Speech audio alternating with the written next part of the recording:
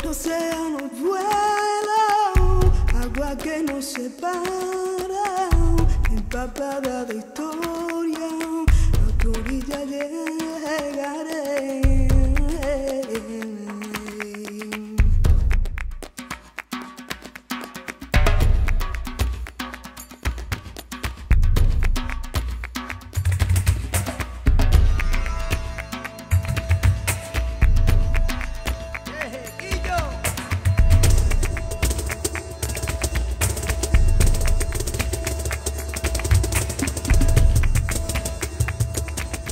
Increasingly, the new mantra today for functional and progressive businesses is a focus on corporate social responsibility.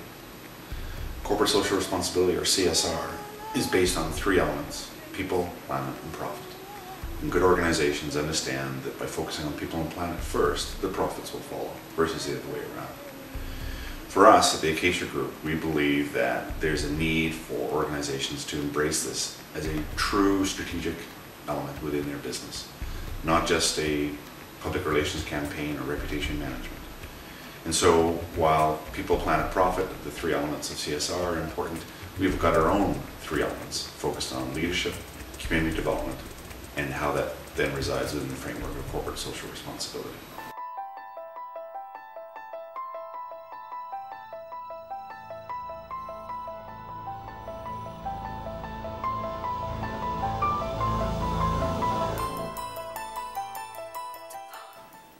Way we make that work for corporations is we have a three-step process, discover, experience, and grow. The discovery phase is a meeting with us and the corporations and the emerging leaders that they've identified to understand the connection between the individual's behavior, their performance, and the strategic, strategic objectives of the organization, specific as they relate to social responsibility. Once we've done that, we will then travel with that leader to a developing community in either Guatemala, Mexico, or Kenya, or even a, a community that they've identified. And we will engage with them in a service project. And it could be planting trees, building a health clinic, engaged in literacy programs, um, assisting entrepreneurs getting their goods to market, depending on where they go. Ideally, though, we're taking somebody out of their comfort zone, where they're stripped of the usual trappings that they're familiar with, the cell phone, the office, the use of language, control over time, control over status and power. And we're placing them in a situation where they have to think differently, they have to communicate differently. We use that as a lever for learning, and that lever is enhanced by the attention and efforts of uh, certified coaches who would assist the learner bring those lessons home every day, help internalize that process. That's a transformative experience. From there, rather than leave the lessons in Guatemala or Mexico or Kenya, they get to return home. And our value-added challenge then is to work with that leader for another three to four months to get them to apply those lessons into their workplace, into their communities, perhaps even into their families.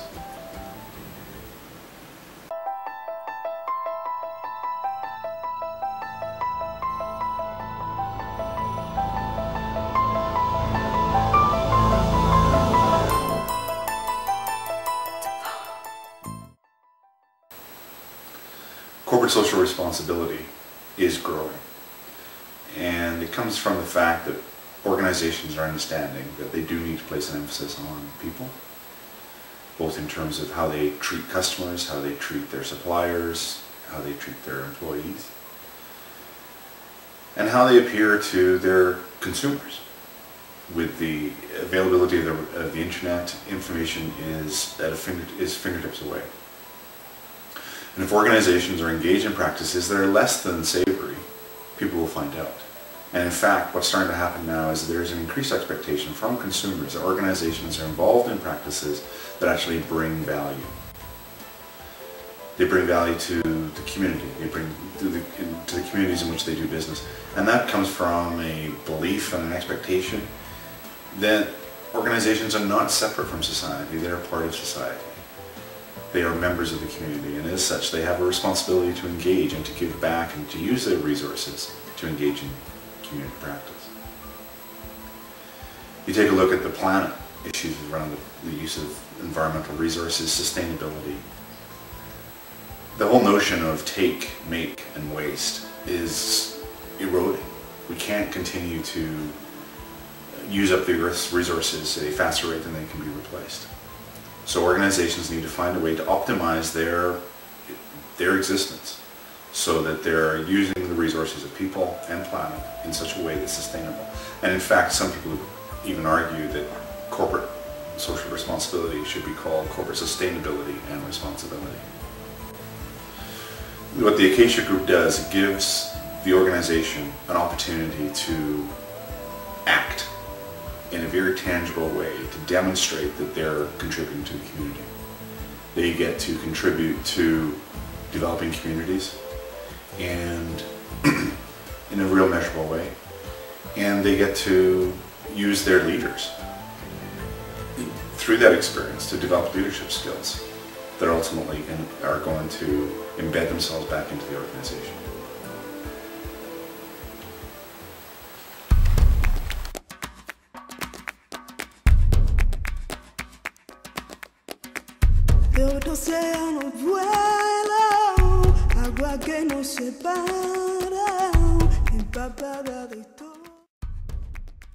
This is a transformative change initiative to shift from uh, being a, an organization that exists to maximize shareholder value to an organization that is a citizen of the world uh, who cares about stakeholder input and value for everyone in the value chain.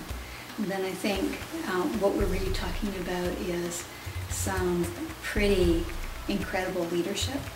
And I think anybody who has been involved in organizations who has wanted to make uh, a change stick recognizes that sponsorship among leaders and modeling the behavior among leaders is really what it takes for, um, for, a, for a change, for a shift to actually move through an organization in a really powerful way. So, uh, you know, I, I just, uh, I, I just think as we think about organizations who are wanting to embrace the principles of CSR, who are wanting to embed that across their enterprise-wide, uh, then we know that leadership is going to be a, a, a critical piece of that.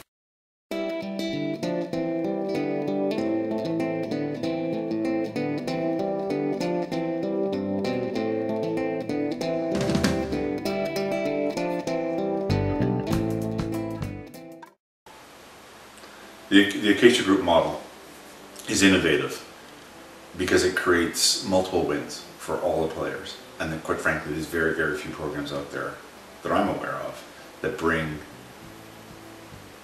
so many wins together. And let me illustrate. The organization that's sponsoring this project, they would win because they're engaging in a CSR initiative that is demonstrable and in some ways measurable.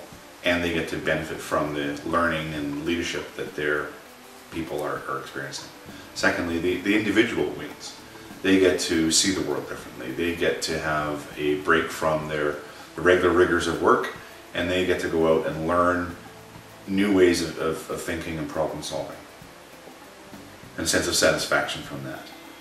The NGO that we deal with on the ground, they win because we're bringing resources to them that are going to benefit them in their cause. And finally, the community in which we do business, the, the people of that community, they win because they have access to resources that they otherwise wouldn't have had. I'm really not aware of any other program that delivers so many wins on so many different levels.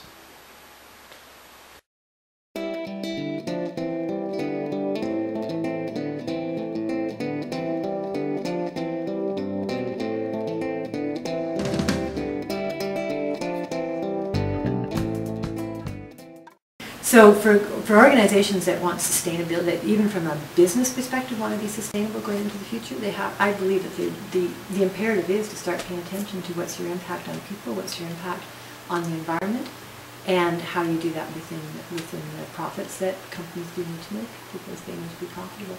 So what would an organization, why would an organization want to engage in a leadership development experience like we have to offer. And I think it's because it would give them that edge. It would bring their leaders to a point of understanding their impact in the world, environmental and socially, and would bring that understanding back into the organization and bring their CSR strategy to a way of being in their organization, just a way of doing business.